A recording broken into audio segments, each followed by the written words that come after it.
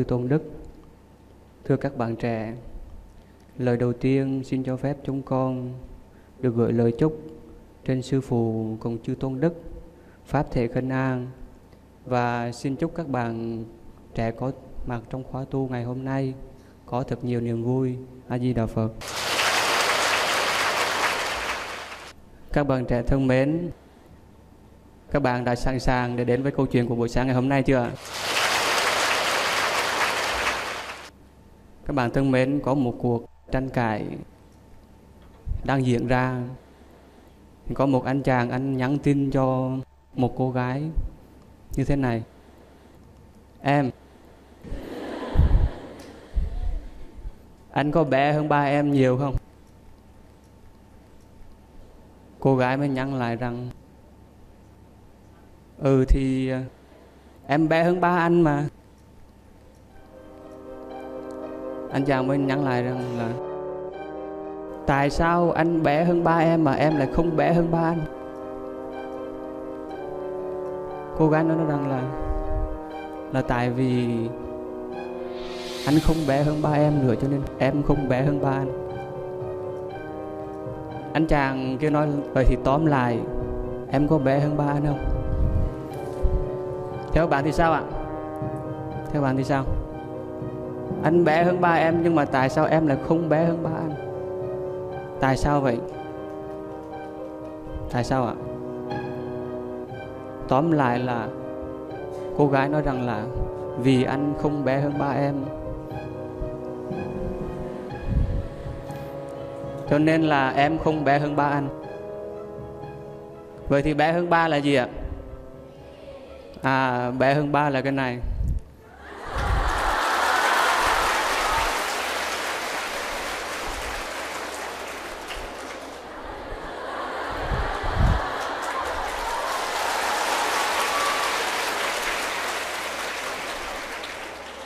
hài nạo quá. Là trái tim đúng không? Là biểu tượng cái gì ạ? À, biểu tượng của tình yêu. Các bạn hay quá. Hóa ra là tình yêu nó rất là đơn giản nhưng mà có khi chúng ta lại làm cho nó làm sao phức tạp hẳn lên và làm cho chúng ta vô cùng hài não đúng không? Nhưng mà các bạn biết không? Để bước đến giai đoạn hài não này á thì hầu hết chúng ta đều ở trong một cái giai đoạn, đó là giai đoạn của sự ám ảnh. Giai đoạn của sự ám ảnh. Vì à, các bạn biết sao không ạ? Các bạn có một người cô, và cô này cô rất là quan tâm bạn. Cô ăn cùng bạn, cô ngủ cùng bạn. Nhiều lúc bạn phải rất là bực mình, phiền lòng. Bạn có biết cô ấy tên gì không ạ? À cô ấy tên là đơn và đó là một cái sự ám ảnh. Và người ta dù già hay trẻ đi nữa ai cũng sợ sự cô đơn. Và người ta nói rằng người ta sợ sự cô đơn giống như là sợ cái sự trần truồng vậy đó.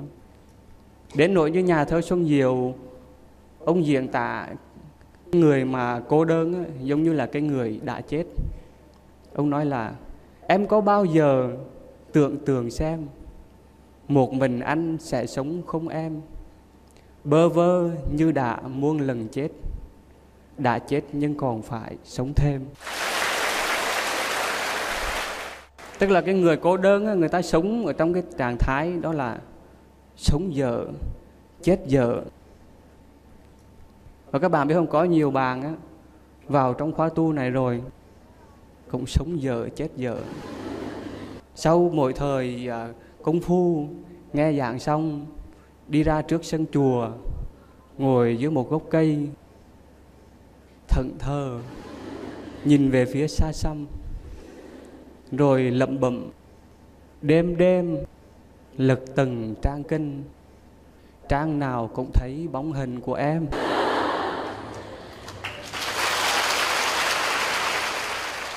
Cái này là càng lời. Không phải biết nói làm sao nữa. Chắc là ở giai đoạn cuối rồi và xin lỗi chúng tôi đã cố gắng hết sức. Và có lẽ là đêm nay, đêm mai và đêm mai nữa, nhớ mãi một người, không nhớ ta. Thôi đi nha, tu lại từ đầu nha. Bạn biết không? Có bạn kia, bạn ờ, hỏi, thầy thầy thầy, cho con hỏi xíu. Nói gì bạn? Bạn nói là, thầy thầy gặp một cô gái đẹp, thầy có rung động không? Theo các bạn thì sao ạ?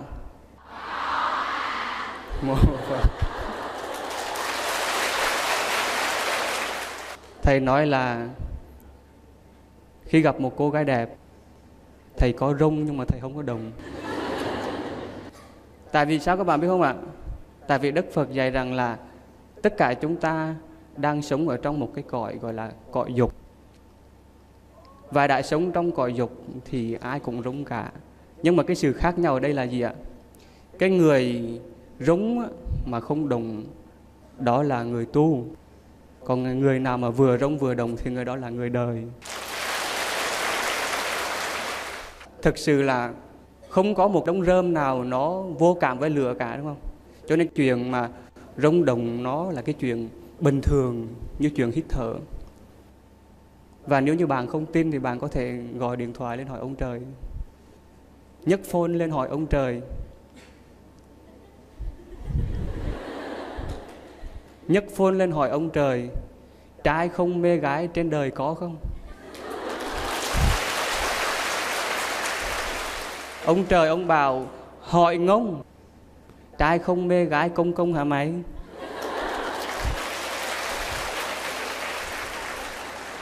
Cho nên là ai mà mê là gì ạ? Bình thường. Người nào không mê mới là bất thường, đúng không? Mê là chuyện bình thường. Cho nên lựa tình thì à, sao ạ? Lựa tình thì trong mình ai cũng có. Lựa tình trong mình ai cũng có. Và lựa tình sẽ sẵn sàng thiêu đốt bất cứ ai. Cho nên có một người ta viết như vậy này, các bạn nghe ha. Tình yêu là ngọn lửa khiến con người phải liều mình. Cho dù là người thông minh hay ngốc nghếch đã yêu rồi đều biến thành con thiêu thân. Ai đã biết xông vào lửa sẽ biến thành tro bụi, nhưng biết làm thế nào, trăm năm sau, cho dù đã từng bốc cháy hay không, chúng ta đều sẽ biến thành tro bụi. Có nghĩa là sao ạ? Người này nói rằng là yêu cũng chết, mà không yêu thì cũng đai. Đó vậy thì à, thầy hỏi nhỏ các bạn siêu là thầy có nên yêu không ạ? Tại sao vậy ạ? Tại sao ạ? Tại sao thầy phải yêu ạ? Bạn này nói là cứ yêu đi vì đời cho phép. Cứ ngờ người tu không biết yêu, sống không tình cảm, sống cô liêu. Tháng ngày chỉ biết câu cân kể, chôn đời trong nếp sống quằn hiu vợ lẽ người tu cũng biết yêu, mà không yêu một, lại yêu nhiều. Sang hèn, xấu đẹp đều yêu cả. Tim này không biết rộng bao nhiêu. Cho nên, nếu như mà không không có tình yêu thì có khóa tu mùa hè này không các bạn? À bởi vì quý thầy có tình yêu cho nên mới có khóa tu mùa hè này. Và bởi vì có tình yêu cho nên hôm nay ở đây chúng ta mới nói về về chuyện tình yêu. Tuy nhiên, đây là một việc làm hết sức liều lĩnh. Các bạn có biết tại sao không ạ? Tại vì người ta nói rằng là đừng có dày khôn tình yêu. Tại vì tình yêu nó sẽ không có nghe gì cả. Ngoài cái nhịp tim đang đập tơi bời đến si dài của nó, đúng không? Đừng có dài khôn tình yêu. Và quả thực là như vậy các bạn. Khi mà yêu thì người ta dùng cái từ là gì ạ? Say tình, đúng không? Có ai nói là yêu mà tịnh tình không? Không có ai yêu mà người ta gọi là tịnh tình cả, mà gọi là say tình. Nếu mà các bạn tịnh tình thì các bạn đã ở trên không? Các bạn làm thần, làm thánh rồi vì bạn đang say tình cho nên bạn mới ở đây ở đây. Vì vậy mà đó quả thực là một cái điều là gì ạ? Trên trời có những thần tiên mà dưới đất thì có những người điên vì tình. Người ta điên vì tình ấy, có những cái rất là đơn giản. Nhiều khi người ta chỉ điên vì nửa nụ cười thôi hoặc là điên vì một ánh mắt một hàng mi hay là một cái giọt lệ nào đó. Người trao có nửa nụ cười mà ta mất cả một đời để quên. Đúng không? Người trao có nửa nụ cười mà ta mất cả một đời để quên. Hay là đôi mắt em là dạy huyệt dài, đã chôn sống bao chàng trai trẻ. Lệ em rơi hơn một lần có lẽ, nên chết đuối đâu chị mình anh các bạn thân mến người ta yêu vì một cái mũi dọc dừa, một con mắt bồ câu, hay là một cái cầm vi lai gì đó. Là chuyện bình thường, đúng không? Là chuyện bình thường. Nhưng mà có người người ta điên đến nỗi như vậy này. Đó là, tôi ca không hay. Sao nữa? À tôi đang nghe giờ ẹt. Nhưng mà sao? Nhưng nàng khen nhiều và thật nhiều. Thật không thể tin nổi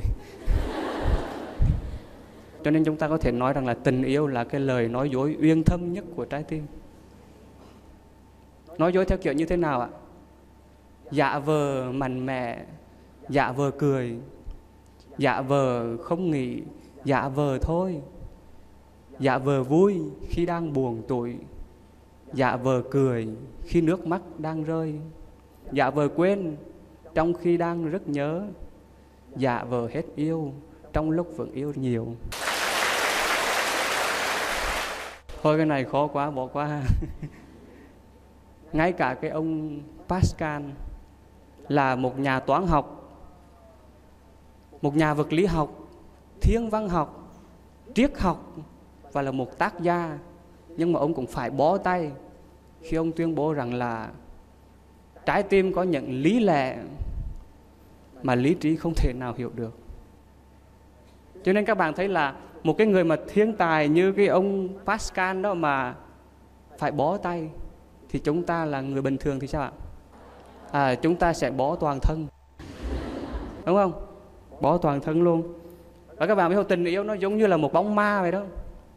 Người ta cứ nửa tin nửa ngờ, lờ mờ không biết nó có hay không. Hoặc có người đã bắt gặp, hoặc có người không cần biết là có hay không. Đơn giản, yêu chỉ là yêu. Như lời bài hát vậy ạ. Không cần biết em là ai. Không cần biết em từ đâu. Không cần biết em ngày sau. Yêu em khi chỉ biết đó là em. Vậy thì em là ai vậy? Biết không? Không biết luôn. Không biết em là ai, không biết em ở đâu, địa chỉ, số nhà, tên tuổi, nghề nghiệp, tư tưởng, tình cảm như thế nào mà yêu.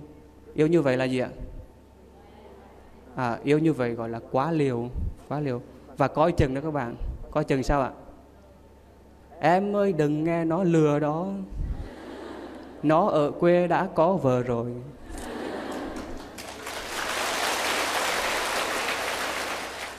Nên đừng có vội các bạn. Đừng có vội mà phải hỏi cho thật là kỹ quan sát cho thật là tin tường rồi mới yêu. Chứ không giống như là hỏi anh á thì anh bảo học trò, vậy mà anh lại cưỡi bò hôm qua. Hỏi anh thì anh nói là học trò, vậy mà chúng ta lại thấy anh cưỡi bò ngày hôm qua. Thì đây chắc chắn là gì ạ?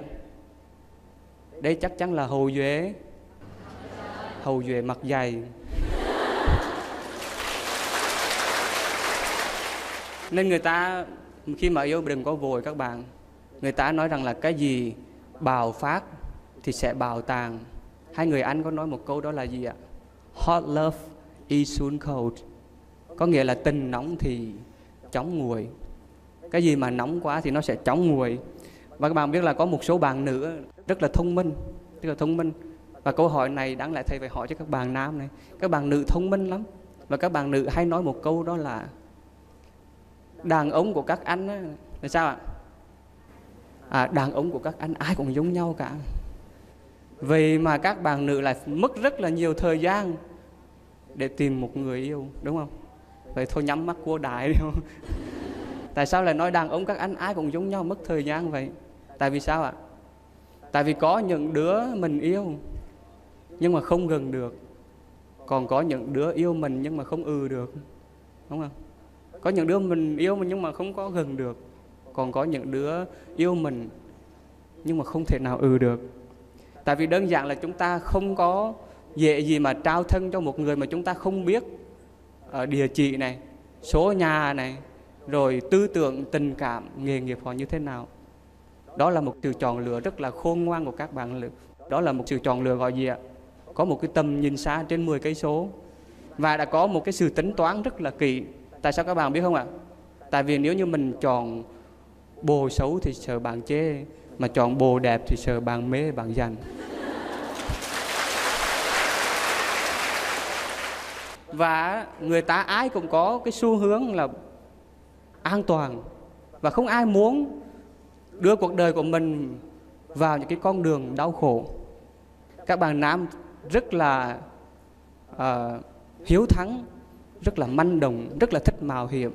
Nhưng mà hãy cẩn thận tại vì người ta ví các bạn nữ này này những người phụ nữ là những con đường.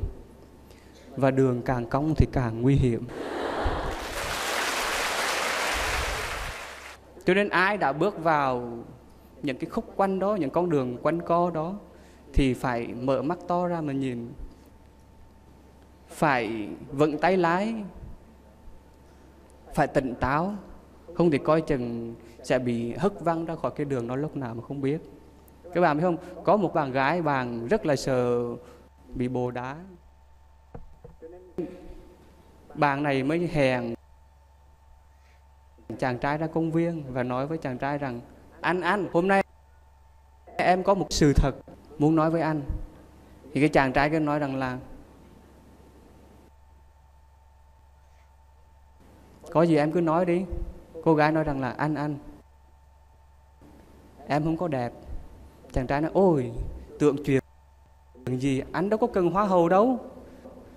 Cô gái mới nói tiếp anh anh nhưng mà em không biết nấu ăn. Cái anh kêu nói ôi chuyện nhỏ anh có đâu có cần đầu bếp đâu. Bà gái cái cái nói tiếp anh anh nhưng mà em lại không biết làm việc nhà luôn. À, chàng trai mới nói ôi trời đất ơi tưởng chuyện gì? Anh đâu có cần ô xin đâu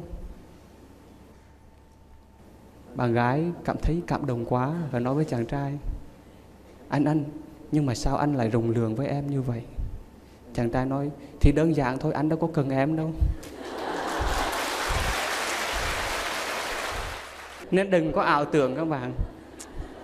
Bạn gái này á bạn đắc, đang mắc phải một cái loại virus đó là mang tên là ATSM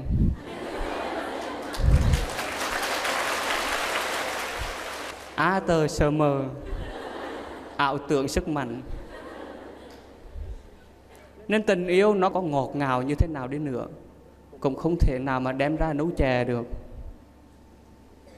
Khi mà bạn phải đối diện những cái chuyện sau này như là vợ đói, con đau, nhà hết gạo. Cho nên đừng có có ảo tưởng. Đừng có nhìn bề ngoài mà vội. Đừng có vội trao thân cho người ta khi mà nhìn cái vẻ hào nhoáng của họ. Đó là một cái sự vội vàng và chúng ta sẽ gặp phải những cái điều rất là nguy hiểm. Nên mình hay nghe cái câu nói đó là gì ạ? Có thân thì phải biết gì ạ? À có thân phải biết lo, phải biết giữ. Có nghĩa là phải biết giữ mình. Có ai nói rằng có thân là phải biết xài không? Không. Nhưng mà nhiều người bây giờ đem thân ra xài. Đem thân ra xài thì cũng giống như là cơm đã ăn, gạo đã hết cho nên khi bước vào đời sống hôn nhân thì các bạn sẽ như thế nào ạ? Sẽ ăn một cái nồi cơm nguội. Ăn một cái nồi cơm nguội rất là hậm hiu. Và bạn có mong muốn chuyện đó xảy ra không? À, đó là cái điều mà tất cả chúng ta không ai mong muốn. Vậy thì chọn cho mình được một người yêu đã là một công việc vô cùng khó phải không bạn? Nhưng mà để làm thế nào để mà yêu không mù quáng lại là một chuyện nó khó khăn hơn rất là nhiều. Cho nên có một cô gái, cô mới hỏi mẹ mình là, mẹ mẹ mẹ, con thấy người ta yêu mù quáng, con khổ quá. Mẹ ơi, làm thế nào để yêu mà không mù quáng hả mẹ? Mẹ của cái bạn gái kia mới trả lời rằng là, tao cũng không biết luôn. Nhưng mà mày cứ yêu đi rồi sáng mắt ra. Có ai yêu mà sáng mắt ra không các bạn? Có ai yêu mà sáng ra được không ạ? Nhất là nhất là các bạn học trò này chúng ta không nên yêu sớm. Vì sao các bạn biết không ạ? Tại vì tuổi học trò, yêu là không tốt. Yêu vào rồi thì cái dốt nó lòi ra. Ngồi trong lớp thì chị nghĩ đến người ta. Và bài kiểm tra thì toàn là 3 với 4 là vì sao vậy ạ? Người ta bảo là yêu là ngốc. Vì chữ tình là nguồn gốc của chữ ngu. Nghe nặng các bạn các bạn có tin là điều đó thật không ạ? Khi người ta yêu nhau, người ta thường gọi nhau là gì ạ? Ôi, chàng ngốc của em. Ôi, nàng ngốc của em. Mà có chiều không? Chiều không? Chiều luôn. Mà chiều luôn có nghĩa là chiều chấp nhận mình mình ngu. Ôi, chàng ngốc của em. Nghe người ta kêu vậy mà hạnh phúc không ạ? Hạnh phúc thấy lạ luôn ha nhưng mà bình thường đó, bình thường có đứa nào mà kêu mình vậy thì có chịu không ạ? Có chừng á. Nhưng mà nói nha, nói thì phải có sách mà mắt có chứng các bạn có tin đó là sự thật không ạ? Ví dụ một chàng trai khi viết thư cho các bạn gái sẽ viết như thế này. Em yêu dấu, anh đang viết thư này cho em. Khi đóa hoa quỳnh đang tỏa hương trong đêm huyền diệu. La bla bla gì đó, ha.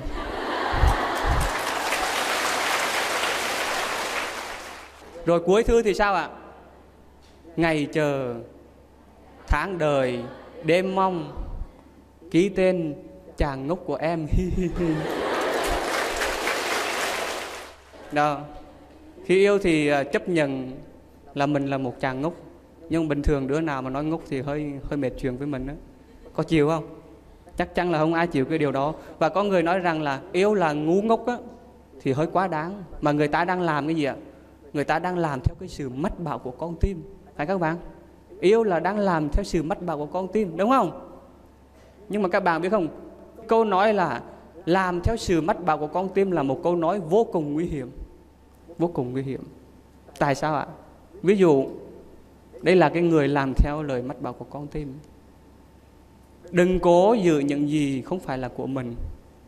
Cái gì không phải của mình thì cứ giật nhiệt tình rồi sẽ được đó là làm theo lời mất bảo của con tim. Và hậu quả là như thế nào ạ? Năm 18 tuổi, anh bỏ nhà đi bụi, giật dây chuyền, dành tặng người yêu. Cướp xe rim chở nàng đi dạo phố. Nhưng thang ôi, cuộc đời anh sụp đổ. Vào xà liếm ngóng mọi cổ mà không được ra. Thì đó gọi là gì ạ? Làm theo sự mách bảo của con tim. Cho nên câu nói làm theo sự mách bảo của con tim là một câu nói vô cùng nguy hiểm khi mà nó hoàn toàn vắng mặt của lý trí. Và đây là một người yêu mà có lý trí này đó là đừng cố giữ những gì ngoài tầm với. Mấy của trời à, cứ để gió cuốn đi đó là người yêu mà có lý trí. Cho nên các bạn thấy không ạ? Tình yêu á, nó có thể giúp cho chúng ta vượt lên những suy nghĩ tầm thường đúng không? Nhưng mà nó cũng sẽ đưa cho chúng ta đến những ý nghĩ tầm bậy. Đó là điều chắc chắn cho nên á, trong kinh tứ thập nhị chương, đức phật có nói rằng, đừng bao giờ tin vào tâm của mình khi bạn chưa chứng thánh đừng bao giờ tin vào tâm của mình. Khi bạn chưa chứng thánh và quả thực là trong cuộc đời này không ai cấm các bạn yêu cả, không ai cấm chúng ta yêu cả. Nhưng mà chúng ta yêu làm sao để cho cái tình yêu của mình nó được thăng hoa? Yêu làm sao đừng có để cái tình yêu của mình nó lọt hầm, té hố, nó rơi vào vực thẳm. Và phải yêu làm sao để có một cái lý trí nó biết thức ngủ cùng con tim thì khi đó cái cuộc tình của bạn nó sẽ rất là đẹp. Vì khi đó là sao các bạn? Vì lúc đó mình hiểu được nhiều thì mình mới sao ạ? Mình mới thương được sâu, đúng không? Còn các bạn yêu mà không hiểu thì sao các bạn? Yêu mà không hiểu thì sao ạ? Yêu mà không hiểu thì chúng ta sẽ mãi là người lạ trong danh bà của nhau. Vì sao vậy ạ? Vì chúng ta không có sự truyền thông kết nối nào cả. Và nó ở cái trạng thái gì các bạn? Ở trạng thái gì ạ? No signal. Ha. đúng không? Đó là vì có sự kết nối nào đâu. Đây là cái gì ạ? Gọi là một từ thiếu kết nối. Cho nên các bạn muốn có được một cái sự kết nối vững bền này trong tình yêu á, thì ngoài con tim bạn cần phải có một cái lý trí. Và khi đó chắc chắn rằng tình yêu của các bạn sẽ được vững chãi và cuộc tình của các bạn sẽ rất là đẹp. Đẹp đến nỗi mà trời đất cũng phải cảm động. Và rồi sao nữa? Và rồi trên trời, dưới đất, trong công viên, anh và em, chúng ta yêu nhau và cùng nhau nhìn về một phía. Đối các bạn ở phía đó có cái gì ạ? Phía đó có chiếc xe của đôi ta và có một đứa đang lưng la đình cướp.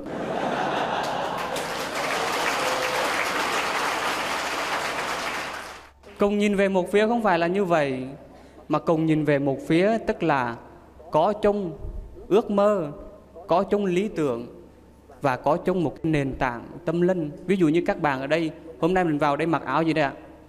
Mặc áo lam có nghĩa là mình là con của Phật. Thì chắc chắn rằng bạn đã có chung một cái nền tảng tâm linh, bạn đã có những hành trang cho tình yêu của mình, đó chính là sự hiểu và thương như Đức Phật đã chỉ dạy thì chắc chắn rằng bạn sẽ có một cuộc tình rất là đẹp.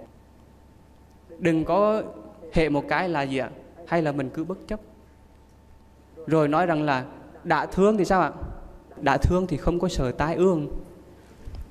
Đã thương không sợ tai ương. Và các bạn biết không, trong rất rất nhiều lần quý thầy tổ chức khóa tu mùa hè cho các bạn, không chỉ ở chùa Hoàng Pháp này mà còn khắp nơi trên đất nước này điều hỏi, quý thầy một cái câu mà hỏi lui hỏi tới rất là nhiều. Đó là, thầy thầy cho con hỏi, con có thể yêu các thầy được không? Có không các bạn? Có người hỏi phải không ạ? Theo các bạn có được không ạ? Có người có có người không nữa. Nếu bạn nào nói không thì xin chúc mừng bạn.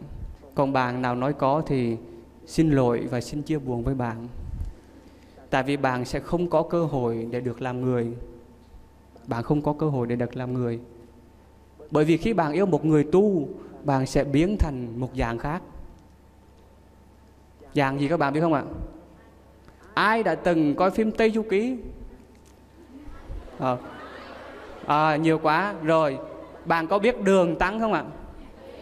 Ai yêu đường tăng? Yêu nào nữa? À, cho nên chỉ có hai dạng người yêu đường tăng một đó là yêu quái mà hai là yêu tinh. Nên bạn nào yêu người tu thì một là gì ạ? Hai là gì ạ? À, cho nên bạn nào thầy nói nhỏ nha vào trong khóa tu này mà lỡ yêu thầy nào rồi á thì à, sờ lên cái đầu của mình xem có cái sừng nào nó mọc lên chưa. Nếu mà có rồi thì thì làm ơn đi mài giúp một cái. Nên đừng có hệ đồng một cái là gì ạ? Hay là mình cứ bất chấp. Không có được. Các bạn biết không ạ? Có những cái chân lý nó không bao giờ cũ. Đó là gì ạ? Đó là muốn gặt thì phải gieo trồng. Hay ở trong bất cứ một cái lĩnh vực nào ở trong tình yêu cũng vậy bạn cũng không thể thoát ra ngoài luật nhân quả tức là cái luật gieo và gặt. Một tình yêu á, cũng phải được sửa soạn chuẩn bị cho đàng hoàng chứ không thể nào tùy tiện được chăng hay chớ hay là chạy theo những trào lưu của xã hội. Tại vì xã hội này đã từng có rất là nhiều những cái trào lưu nhưng mà tình yêu ở trong thời đại nào, trong xã hội nào, nó cũng đòi hỏi chúng ta phải có sự thủy chung, trách nhiệm, bao dung, thương yêu, chia sẻ. Trong thời đại nào, nó cũng cần có những cái đó cả. Cho nên là yêu thì đơn giản, nhưng mà cơ bản là giữ được bao lâu? Đúng không? Yêu thì rất là đơn giản rồi, nhưng mà cơ bản là chúng ta giữ được tình yêu đó bao lâu? Các bạn thấy không? Một ngọn lửa, nó sẽ không thể nào là ngọn lửa nữa. Khi nó đã như thế nào ạ? Nó đã tắt. Và cái ngọn lửa tình yêu cũng vậy. Khi mà nó đã tắt rồi, thì tình yêu cũng sẽ chết. Có vậy, bạn thấy được rằng là là một tình yêu chân thật chân chánh, chân thành, chân tình hay chân gì đi nữa thì nó phải có gì ạ? À nó phải có chân nó không có đứng yên một chỗ. Có nghĩa là yêu thương là phải gì? Yêu thương là phải hành động. Cho nên bạn muốn duy trì cái ngọn lửa tình yêu của bạn thì bạn phải cung cấp nguyên liệu cho nó, để cho nó được sống mãi. Hay nói cách khác, chúng ta tạo nên được một cái tình yêu chung thủy. Mà các bạn biết tình yêu chung thủy là gì không ạ? Chung thủy là gì ạ? À trước sau như một. Tình yêu chung thủy là gì ạ? Tình yêu chung thủy nó như là một tín ngưỡng của nhân loại tại sao lại gọi là một tín ngưỡng của nhân loại ạ? Tại vì ai cũng tin rằng là tình yêu chung thủy là một điều có thật. Nhưng mà hầu hết mọi người rất là mơ hồ, rất là mơ hồ về cái tín ngưỡng này. Và rồi rất nhiều lần tín ngưỡng này đã sụp đổ. Tại vì sao các bạn biết tại vì sao các bạn biết không ạ? Tại vì bản chất của tín ngưỡng nó là một sự huyền hoặc và không mang tính ràng buộc. Cho nên là mới có cái chuyện là gì ạ? Trái tim em chỉ một lần mở cửa, đón anh vào rồi khép lại ngàn năm. Trung thủy không các bạn? Ờ trung thủy quá. Nhưng mà lần đó em quên đóng cửa. Anh vào rồi, đứa khác cũng vào theo. Đây gọi là gì ạ? Anh hứa gì? Anh hứa sẽ đưa em đi suốt cuộc đời, mà sao đưa nửa đường rồi là giống luôn? Đây gọi là gì ạ? Đây gọi là bàn đường, chứ không thể gọi là bàn đời được. Các bạn phải phân biệt rõ ràng đâu là bàn đường và đâu là bàn đời.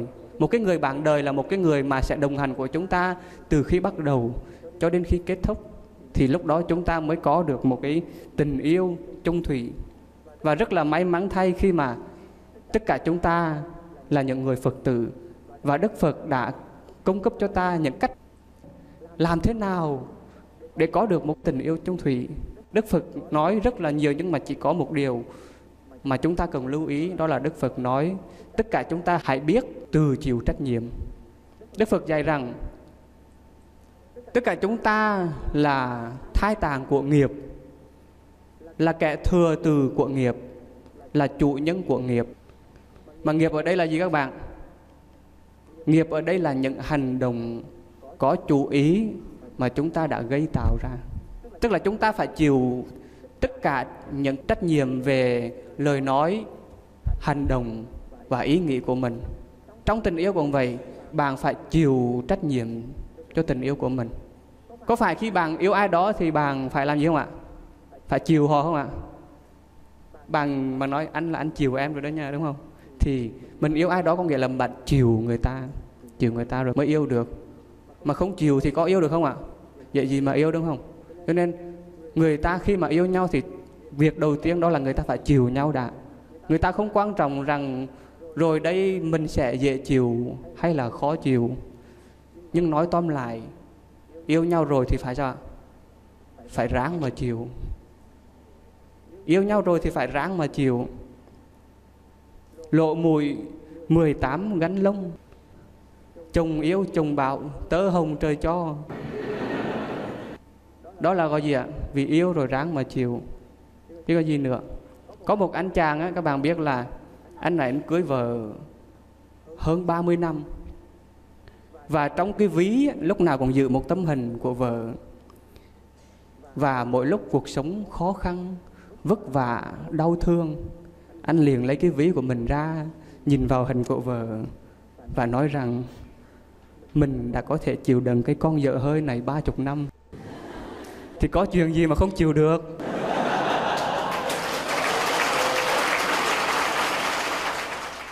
Đó là gì ạ? Đó là yêu thì phải chịu, mà muốn chịu được thì phải có cái để mà mà đừng chiều rồi mà không có cái đừng đó thì chắc chắn là trước sau, sau gì tình yêu của các bạn cũng sẽ bị mất. Quan trọng là bạn đừng như thế nào thôi. Vậy thì đừng bằng cách nào đây ạ. Đừng bằng cách nào ạ. Cách nào bạn? Đức phật đã cho chúng ta bốn cái túi để mà đừng tình yêu của mình. Cái túi thứ nhất đó là từ. Từ ở đây tức là cái sự hiến tặng tình yêu cho người mình yêu, mà không cần phải suy nghĩ gì cả. Các bạn chúng ta có hay nghe người ta nói rằng là người không có yêu ta, người không có hết lòng với ta, người không có từng tùy với ta. Nhưng mà có bao giờ bạn nghe người ta nói rằng là ta yêu người hết mình, ta sẵn sàng cho tình yêu của ta hay không? Cho nên cái cách mà người ta yêu nhau đó là người ta chỉ nghĩ rằng mình được yêu bao nhiêu, chứ không phải là yêu như thế nào. Và đây là một cách nhìn nhận về tình yêu rất là sai lầm. Và yêu thương nó không phải là một sự đòi hỏi, hưởng thụ, mà nó là một sự hiến tặng. Khi bạn yêu thương ai đó thực sự, thì bạn phải làm cho người đó hạnh phúc mỗi ngày. Thì đó mới gọi là một tình yêu thực sự. Bạn mà đã làm cho người ta hạnh phúc rồi á thì chính bạn có hạnh phúc không ạ? Có không? Người ta hạnh phúc, bạn cũng sẽ hạnh phúc. Cho nên người phương tây có nói một câu rất là hay, đó là bàn tay tặng hoa hồng từ nó thơm trước. Bàn tay tặng hoa hồng thì từ nó sẽ thơm trước. Chúng ta không cần phải suy nghĩ. Các bạn thân mến, có nhiều người á, người ta hay hiểu nhầm là tình yêu chính là cái sự sở hữu mà cái điều này xảy ra là do có những cái giả định mà chúng ta thường nghe trong tình yêu đó là gì ạ? Anh là của em em là của anh thậm chí có những bài hát là gì ạ? Và chúng ta thuộc về nhau. Và khi yêu ai đó thì bạn tìm cách để mà chiếm hữu người ta. Thậm chí có nhiều người người ta đánh đồng cái việc tình yêu và sự chiếm hữu nó mạnh đến nỗi là nếu như mà ai đó yêu mình mà không có sở hữu mình á, thì hình như là người ta không yêu mình, đúng không? Không yêu mình. Và rồi người ta làm gì ạ? Người ta từ nguyện bỏ tù nhau. Bằng cách nào ạ? Cạch cạch cạch. Ăn cơm chưa? Cạch cạch cạch, đang làm gì đó. Cạch cạch cạch, ngủ dậy chưa? Tức là người ta bỏ tù nhau trong từng lời nói, trong từng hành động và suy nghĩ bạn có biết cách người ta yêu một con chim không? Biết không? Khi yêu một con chim, có phải là bạn nhốt nó vào lồng và cho nó thật là nhiều gạo thóc và nước uống không ạ? Không. Khi yêu một con chim, bạn phải thả nó bay về với bầu trời tự do của nó. Đó mới gọi là một tình yêu không có vị kỷ. Cho nên như hòa thượng nhất hạnh có nói một câu nói rất là hay về tình yêu. Đó là you must love in such a way that the person you love feels free. Tức là, tình yêu của bạn phải làm cho người bạn yêu cảm thấy được tự do. Nếu bạn yêu ai đó mà bạn không có làm cho họ cảm thấy được tự do, thì bạn đang bỏ tù họ. Bạn bỏ tù người ta mà bạn nói rằng bạn yêu người ta, thì đó là một cái sự nhận định rất là sai lầm. Bạn, các bạn đây có bao giờ vẽ hình bé hơn ba chưa? Vẽ hình trái tim chưa ạ? Có không? Đây là trái tim. Và một khi trái tim của bạn đảo ngược lại thì nó sẽ có hình gì ạ? Có hình gì? Nó sẽ có hình mũi tên.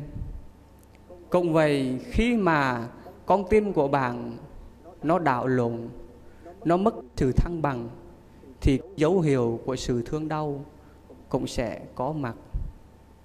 Cho nên bạn yêu mà bạn để cho trái tim của bạn đảo lộn, thì chắc chắn rằng bạn sẽ có sự khổ đau trong tình yêu. Đó là một điều chắc chắn.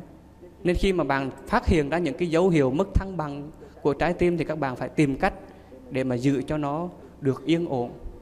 Ông bà mình ngày xưa có nói một câu đó là gì ạ? Yêu nhau muôn sự chẳng nề, dẫu trăm chỗ lệch, cũng kê cho bằng. Mà muốn kê cho nó bằng được á, thì các bạn chúng ta sẽ có thêm được một cái túi thứ hai mà Đức Phật đã tặng cho chúng ta. Đó chính là cái túi bi. Bi tức là cách mà giúp cho chúng ta lấy lại trạng thái thăng bằng cho trái tim của mình. Bằng cách đó là lấy ra những đau khổ của mình và những người khác. Mình yêu người ta nhưng mà mình không có lấy ra được những cái đau khổ của người ta. Mà người mình chỉ làm khổ cho người ta thì đó cũng chưa thể gọi là một tình yêu. Các bạn có biết hoa hồng không? À, hoa hồng cũng là một biểu tượng của tình yêu. Và khi người ta yêu nhau á, thì sao các bạn? Khi người ta yêu nhau thì người ta nâng niu những cánh hoa hồng. Và người ta quên đi những cái gai góc của nó đúng không? Người ta quên đi những cái gai góc của nó. Nhưng mà khi ghét nhau rồi thì sao ạ? Người ta sẽ quên đi những cánh hoa hồng mà người ta nhìn chằm chằm vào những cái gai.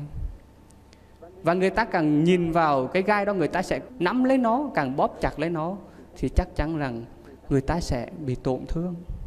Cho nên bạn đừng hỏi tại sao. Tại sao mà tình yêu của bạn đau khổ? Mà bạn phải hỏi rằng, ngay bây giờ bạn đang nâng niu những cánh hoa hồng hay là bạn đang nắm chặt những cái gai? Bạn đừng hỏi tại sao bạn đau khổ.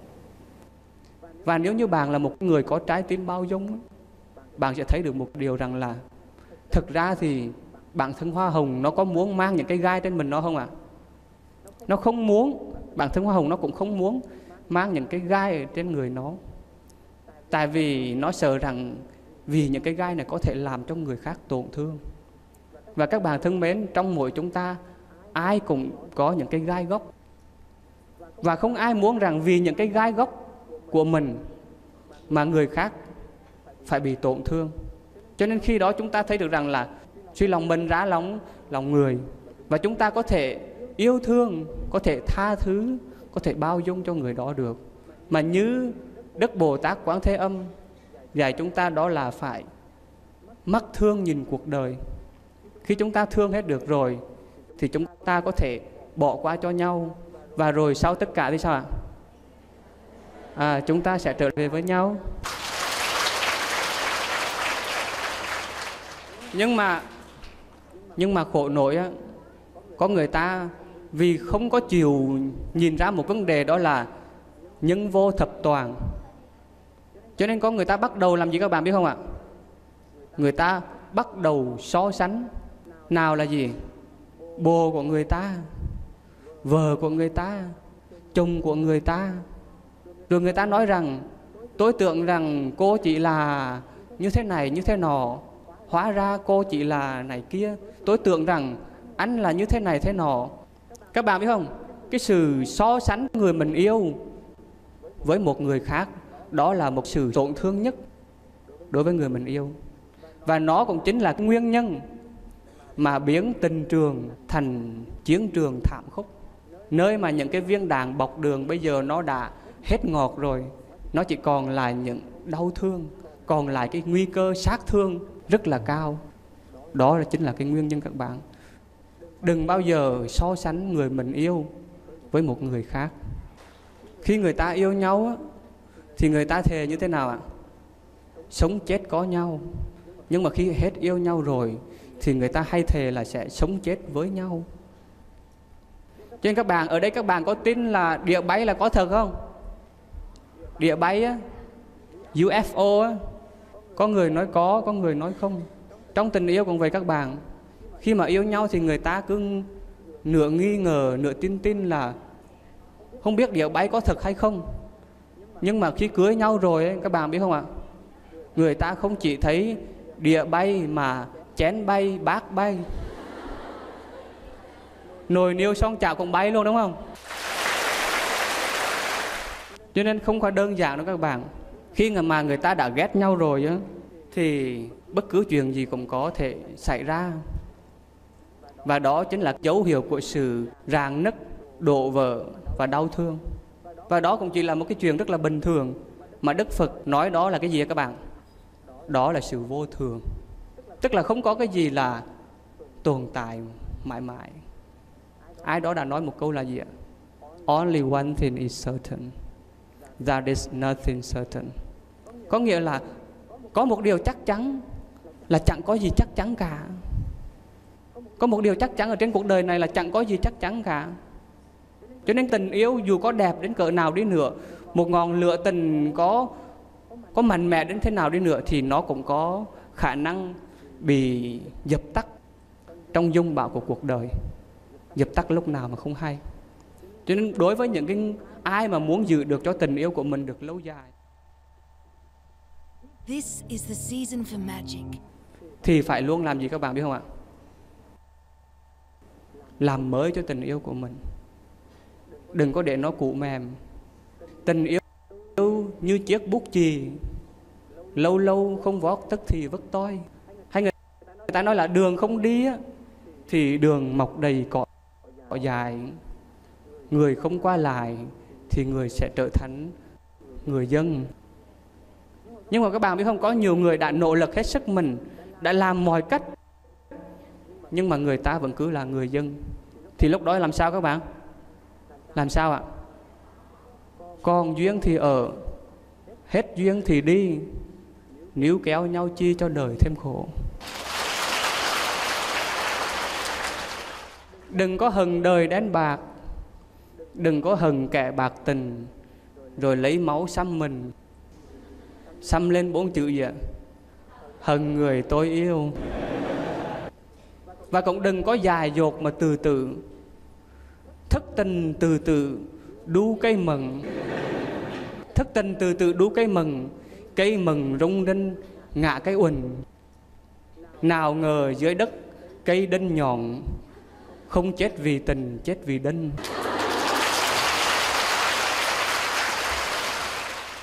Cho nên khi mà bạn đã không thể níu kéo tình yêu của bạn, thì bạn phải làm một cái việc đó là hãy an ủi mình. Bằng cách nào ạ? Trái tim ơi, đừng buồn nữa nhé. Tao biết mày đang nhớ tới ai. Nhưng tim à sao mày khờ quá vậy? Mày nhớ họ họ có nhớ mày không? Thay vì mình cứ hát đi hát lại cái bài đó là đếm ngày xa anh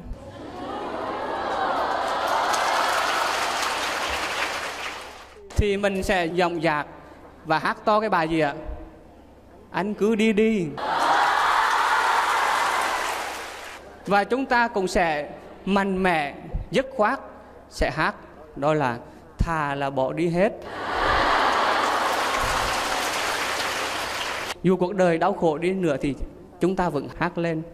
Và chúng ta sẽ thấy được rằng một điều rằng là mất tình yêu đôi lứa không có nghĩa là mất tất cả. Vì cuộc sống này còn nhiều thứ đáng để cho bạn sống. Và bạn hãy ngẩng cao đầu. Bạn nói rằng, em của ngày xưa là cô gái mang hài đỏ, bỏ cả thế giới nhỏ để chỉ yêu mình mình ăn.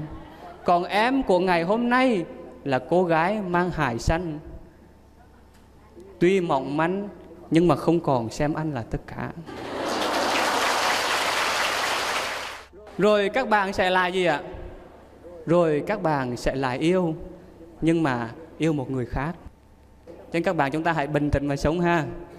Bình tĩnh mà sống. Không có gì phải vội vàng, đau khổ rồi thất tình từ từ. Các bạn biết không? Có một ông già đó có một ông già ông kể một câu chuyện cười. Và khi câu chuyện cười kết thúc á, thì mọi người cười ngặt nghẹo. Rồi ông kể lại câu chuyện đó lần thứ hai. Người ta vẫn cười nhưng mà tiếng cười nó vơi đi. Cho đến lần thứ 10 không còn ai cười nữa. Và ông già mới đưa ra một kết luận là gì ạ? Dù cho một câu chuyện cười mà có kể nhiều lần đi nữa thì nó cũng nhàm mà chẳng có gì để cười cả. Vậy thì tại sao? Tại sao ta lại phải khóc đi khóc lại một chuyện cũ mềm? Đó là gì ạ? Đó chính là cách mà chúng ta học được một cái chữ trong đạo Phật nữa. Đó là chữ gì các bạn? Đó chính là chữ hỷ. Tức là chúng ta hoan hỷ, chúng ta vui vẻ, đón nhận tất cả mọi thứ trong cuộc đời này xảy đến với mình bằng một cái tâm bình thản. Tại vì cuộc đời vốn nó là như vậy. Không đau khổ, lấy chi làm chất liệu. Không buồn thương, sao biết chuyện con người. Không nghèo đói, làm sao thi vị hóa. Không lang thang, sao biết gió mưa nhiều.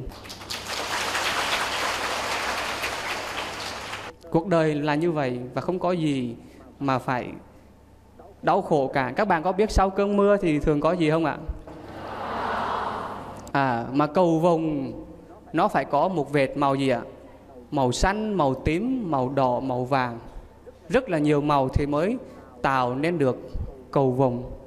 Và cầu vồng không thể là cầu vồng khi nó chỉ có một một màu hồng mà thôi. Và cuộc sống này cũng vậy. Cuộc sống này không phải lúc nào cũng là một màu hồng. Nếu mà cuộc sống này chỉ toàn màu hồng thì cuộc sống này cũng sẽ là sao ạ? Sẽ vô cùng tệ nhạt. Cho nên các bạn chúng ta hãy giống như là một cái con lực đực dù ngã bao lần, cũng tự bật dậy, đứng lên. Và bạn hãy nhớ rằng là bạn và chính bạn, chứ không phải một ai khác, phải đi hết hành trình cuộc đời của mình. Và bạn cũng đừng quá nương tựa vào bất cứ một ai. Tại vì sao các bạn biết không ạ? Bởi vì ngay cả cái bóng của bạn cũng sẽ bỏ bạn lúc tối tăm. Ngay cả cái bóng của bạn mà nó còn bỏ bạn thì đừng có nói ai ngoài bạn nữa.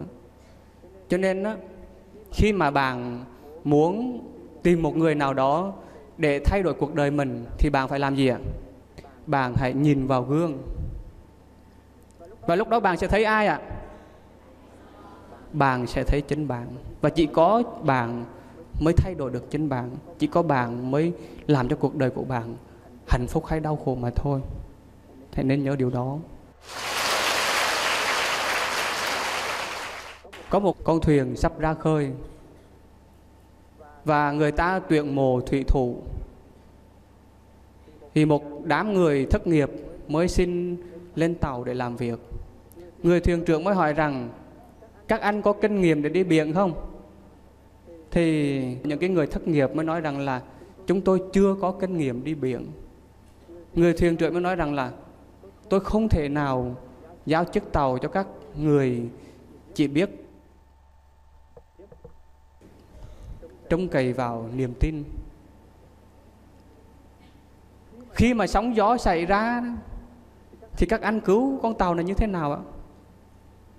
Cho nên cuộc đời này cùng với các bạn không ai không ai trên cuộc đời này á, người ta giao phó cuộc đời của họ cho bạn khi bạn chỉ có trong lòng bạn là một cái niềm tin trống trơn. Khi bạn nói rằng, anh yêu em em yêu anh, thì chính ngay trong bạn phải có gì ạ? Phải có tình yêu trước đã. Bạn phải có chất liệu trước đã, bạn phải có bột thì mới gột nên hồ bạn nói rằng bạn yêu người khác nhưng bạn chỉ có một cái niềm tin trống trơn á, thì bạn không thể yêu người khác một cách trọn vẹn được. Và trước sau gì tình yêu của bạn cũng sẽ đổ vỡ. Và trong khóa tu này chắc chắn rồi bạn sẽ học được cách làm thế nào để yêu thương đích thực và đem tình yêu thương đó để trao tặng cho người mình yêu và bạn đừng có bao giờ yêu người khác với một niềm tin trống rỗng. Còn nếu như bạn muốn thấy một tình yêu đích thực á, thì bạn hãy nhìn vào hình ảnh một người mẹ ôm một đứa con tật nguyền của mình vào lòng và hôn mãi. Hay bạn hãy nhìn vào hình ảnh của một con người ngồi dưới gốc cây bồ đề với một tư thế an nhiên vững chãi và đã hy sinh cho tất cả chúng sanh. Người đó là ai các bạn? Đó là, đó chính là Đức Bổn Sư Thích Ca Mâu Ni Phật của chúng ta. Và đó là một tình yêu vì tha, vô ngã. Và chúng tôi cũng cầu mong rằng bạn sẽ được tình yêu cao thượng đó. Xin chúc bạn luôn có được hạnh phúc và bình an. A Di Đà Phật.